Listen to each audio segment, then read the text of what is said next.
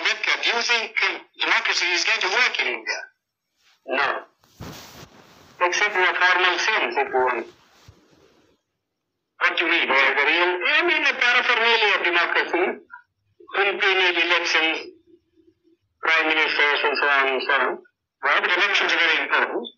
No. Elections are important provided they produce really good men. Aren't they important because they allow you to change a government? I mean, it's better to change peaceably than Yeah, change. yeah, but who has got the idea, you see, that voting means change of government? Nobody has. People have no consciousness. And our electoral system, you see, is of a sort which never allows a man to choose the candidate. Now, for instance, the Congress went and say, vote for what? Vote for Bullock. Yes. Isn't it? Yes. Well, the man never cared who represented the. Whether it was a donkey who represented the Bullock, you see, or a very educated man who represented the Bullock. He simply voted for the Bullock. Well, that's common to many party systems. But what you mean by, uh, in a formal sense? You mean that in a fundamental sense, you in democracy will not work. For the simple reason we have got a social structure which is totally incompatible with parliamentary democracy. You, you mean that it's based on equality, inequality, or It is based on inequality.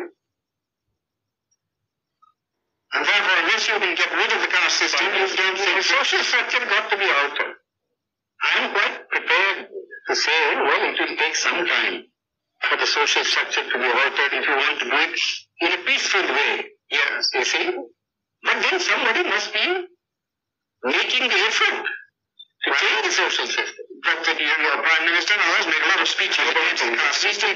These endless speeches, you know, you see, when Carlyle was presented with a set of volumes by Spencer, Yes. you see, he said, Oh, this endless speaking acts in Christendom. well, it's the same sort of one is sick of speeches. We like to have action. Well, what action do you want? Some program, you see? Some machinery by which the thing would be altered. Some action. Well, but supposing, supposing it doesn't work, what alternative do you see? Well, it is no idea. Alternative, as I think, is some kind of communism. And why do you think that would uh, help the country more? Would it raise the standard of living, you know? Yes, it does. Ah, Undoubtedly. I mean, who cares really for this election people want their material needs to be satisfied. In democracy, in America, yes, I agree.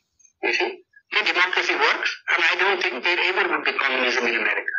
I've just come from that country. I was invited to give a degree, take a degree. Just because the American, each American earns so much. well, if you, you can begin to do that here too. Well, how can you begin? They say we have no land. You see? Our rainfall is so short. Our forests have been denuded. You see? What can we do? Well, you have, unless you tackle these problems. But you uh, I don't think the present government would be able to tackle this problem. well, the communists would wipe out, uh, more people than, that is matter to my. I mean, the remainder you think would be better Yeah, here. would be able. We always do that sort of thing, you know? But in this country, Yeah, we always do. I mean, in war, you kill people, don't you? well, You are not sorry because you have killed so many people. Because you find it necessary because it's necessary to do so in order to safeguard your interest. So you really feel oh, that this system is likely to Collapse, collapse. Yes, I think it will. how soon? Well, pretty soon, probably. My own people, very impatient. And then I judge, I judge by my people. You see? And who are the lowest rung of the strata? You see, you know, Yeah. if the foundation of a building begins to collapse, it is first the lowest strata that collapses. You, you think, uh, you my own people untouchable? The of it. And are, are the communists working among them? No, they are not working because they are they are faith in me. I haven't said anything. Far. You see?